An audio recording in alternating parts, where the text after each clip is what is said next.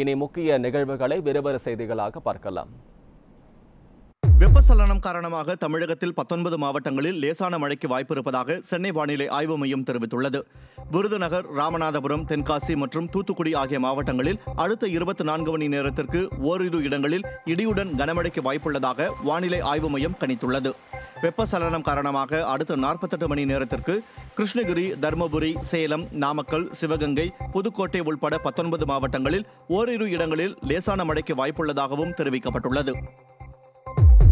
நாளொன்றுக்கு மூன்று லட்சம் பிபிஇ கவசங்கள் மற்றும் என் நைன்டி ஃபைவ் முகக்கவசங்கள் தயாரிக்கப்படுவதாக மத்திய சுகாதார அமைச்சகம் விளக்கம் அளித்துள்ளது மத்திய சுகாதார அமைச்சகம் மத்திய ஜவுளி அமைச்சகத்தின் ஆய்வக பரிசோதனைக்கு பிறகு பிபிஇ கவசங்களை ஹெச்எல்எல் நிறுவனம் கொள்முதல் செய்வதாகவும் தரமான உபகரணங்கள் மட்டுமே வாங்கப்படுவதாகவும் தெரிவித்துள்ளது. சுகாதார பணியாளர்களை சென்றடையும் வகையில் ஒரு நாளைக்கு மூன்று லட்சம் பிபிஇ கவசங்கள் உற்பத்தி செய்யப்படுவதாக சுகாதார அமைச்சகம் கூறியுள்ளது. மேற்கு வங்க மாநிலம் கொல்கத்தாவில் சீரான குடிநீர் மின்சாரம் வழங்க கோரி பொதுமக்கள் போராட்டத்தில் ஈடுபட்டனர். மேற்கு வங்கத்தை அண்மையில் தாக்கிய அம்பன் புயலால் பெரும் சேதங்கள் ஏற்பட்டுள்ளன. பல்வேறு இடங்களில் மீட்பு பணிகள் தொடர்ந்து நடைபெற்று வரும் நிலையில் பகாச்சட்டின் பகுதி மக்கள் குடிநீர் மற்றும் மின்சேவை வழங்க கோரி போராட்டம் நடத்தினர். கடந்த ஐந்து நாட்களாக குடிநீர் மின்சாரமின்றி தவித்து வருவதாக பொதுமக்கள் தெரிவித்தனர். லடாக்கில் ஐந்தாயிரத்திற்கும் அதிகமான வீரர்களை சீனா நிறுத்தியுள்ள நிலையில் இந்தியா தனது ராணுவ வீரர்களின் எண்ணிக்கையை அதிகரித்துள்ளது.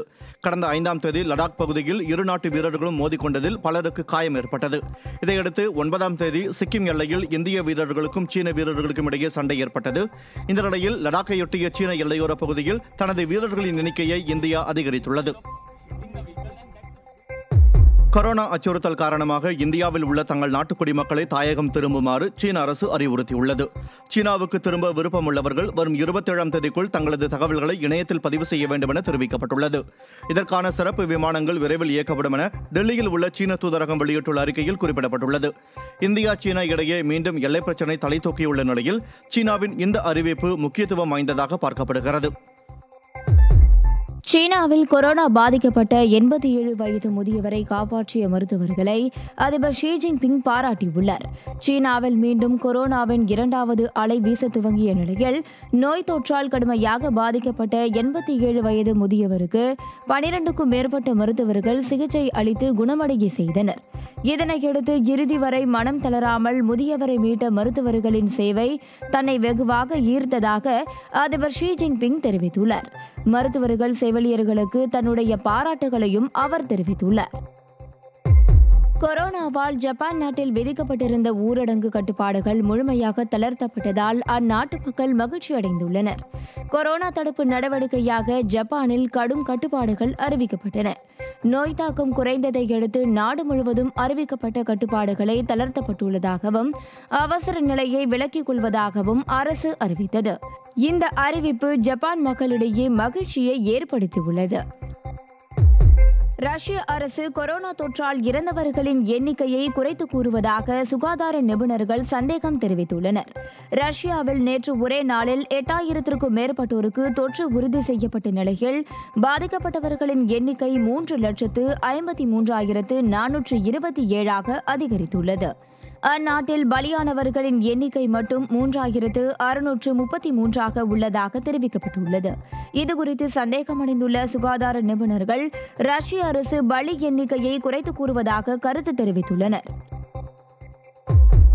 சீனாவின் உகான் நகரில் தன்னை வளர்த்து வந்தவர் கொரோனாவால் இறந்ததை அறியாமல் மூன்று மாதங்களாக மருத்துவமனை வளாகத்திலேயே காத்திருந்த நாயை மருத்துவமனை நிர்வாகம் நாய்கள் காப்பகத்தில் சேர்த்தது. கடந்த பிப்ரவரி மாதம் மருத்துவமனையில் அனுமதிக்கப்பட்ட முதியவர் ஒருவர் ஐந்து நாட்களில் இறந்துவிட்ட நிலையில் மருத்துவமனையை விட்டு செல்லாமல் அவரது வருகைக்காக அந்த நாய் காத்திருந்ததை பார்த்த மருத்துவ பணியாளர்கள் அதற்கு உணவளித்து வந்துள்ளனர். ஏழு வயதான ஜியாபோ என பெயரிடப்பட்ட பெயரிடப்பட்டுள்ள அந்த நாயை மருத்துவமனை நிர்வாகம் காப்பகத்தில் ஒப்படைத்துள்ளது. கொரோனா வைரஸ் கொசுக்கள் மூலமும் பரவுமோ என்ற அச்சம் பரவலாக உள்ளது. அதற்கு விளக்கமளித்துள்ள உலக சுகாதார அமைப்பு கொரோனா வைரஸ் கொசுக்கள் மூலம் பரவியதாக இதுவரை கண்டறியப்படவில்லை என்று தெரிவித்துள்ளது. மேலும் கொரோனா தொற்று ஏற்பட்டவரை கொசு கடித்தாலும் அந்த கொசுவுக்கு கொரோனா தொற்று ஏற்படுவதில்லை.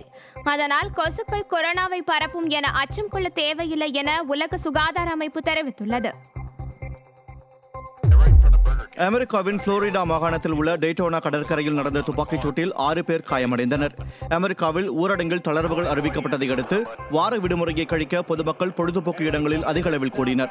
டேட்டோனா கடற்கரையொட்டிய சாலையில் இருநூற்றுக்கும் மேற்பட்டோர் பார்ட்டியில் கலந்து கொண்டு நடனம் ஆடிக்கொண்டிருந்தனர். அப்போது திடீரென சிலர் துப்பாக்கிச்சூடு நடத்தினர். இதில் பலருக்கு சிறு சிறு காயங்கள் ஏற்பட்டு மருத்துவமனையில் அனுமதிக்கப்பட்டனர்.